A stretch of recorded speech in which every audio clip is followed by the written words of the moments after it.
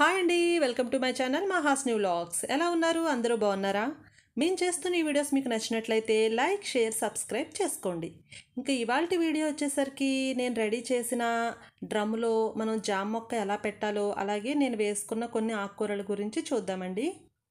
ఇక్కడ పాలకూర వేసుకున్నానండి. ఇక్కడ సూట్ కేసులో వేశాను ఖాళీగా ఉందని. అలాగే ఎదర రెండు కలబంద కూడా వేసుకున్నాను. చాలా హెల్తీగా బాగా వచ్చిందండి పాలకూర అయితే గుబురుగా. ఇక్కడ టబ్లో తులసి మొక్క పక్కన గోంగూర సీడ్స్ అనేవి వేసానండి చాలా హెల్దీగా వచ్చాయి. వర్షాలకు పడిపోతాయేమో అనుకున్నాను. కానీ దగ్గరకు వేసుకోవడం వల్ల గోంగూర సీడ్స్ కూడా చాలా బాగా వచ్చాయండి. పక్కన కొంచెం దానిమ్మ మొక్క పక్కన ఇక్కడ వంగనార అనేది పెట్టాను రెండు. ఇవి కూడా బాగా గ్రో అయ్యాయి. ఇక్కడ నేను గులాబీ మొక్కకి ఒకే కొమ్మకి పది పువ్వులు వచ్చాయండి చాలా అందంగా బాగా కనిపిస్తున్నాయి కదా. ఒకే కొమ్మకి పది పువ్వులు వచ్చాయన్నమాట ఇక్కడ బచ్చలు తీగండి. బచ్చలు తీగ కూడా బాగా గ్రో అయింది. ఇంకా దీన్ని మనం హార్వెస్ట్ చేసుకొని పప్పుల్లో వాటిల్లో కూడా వేసుకోవచ్చు. బచ్చల తీగ కూడా చాలా బాగా గ్రో అయింది. ఆకులు కూడా మనకి పప్పులో వేసుకుంటే చాలా హెల్దీ కదా.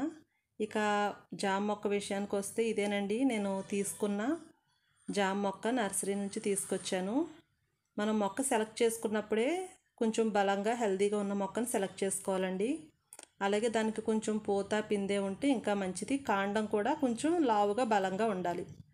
ఇక కవర్ ఓపెన్ చేసిన తర్వాత అయితే వేర్లు కూడా చాలా లావుగా బలంగా ఉన్నాయండి.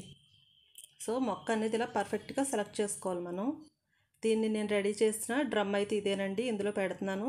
వేర్లు అనేవి డిస్టర్బ్ చేయకుండా ఇంకా అలా పెట్టేస్తుంది అనమాట దీన్ని ఇలాగ పెట్టాక మన గార్డెన్లో సాయిల్ ఉంటుంది కదా దాన్ని పైన వేసేసుకోవాలి. నేను ఒక బౌల్లోంచి మట్టి అనేది వేసేస్తున్నాను. పూర్తిగా కవర్ అయిపోయేలా వేసేసుకోవాలి. సో మొక్క అయితే పెట్టేశానండి ఇలాగా. ఫుల్గా మట్టి అంతా పైన కవర్ చేసేసాను.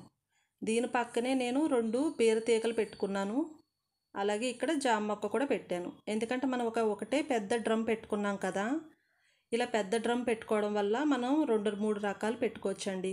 మనకి కింద నుంచి చిన్న చిన్న కొమ్మలు లాంటివి ఉంటే వాటిని మనం కట్ చేసేసుకోవాలి. చిన్న చిన్ని కొమ్మలు లాంటివి పెరగనివ్వకూడదు. మొక్క అలా పైకి వెళ్తుంది.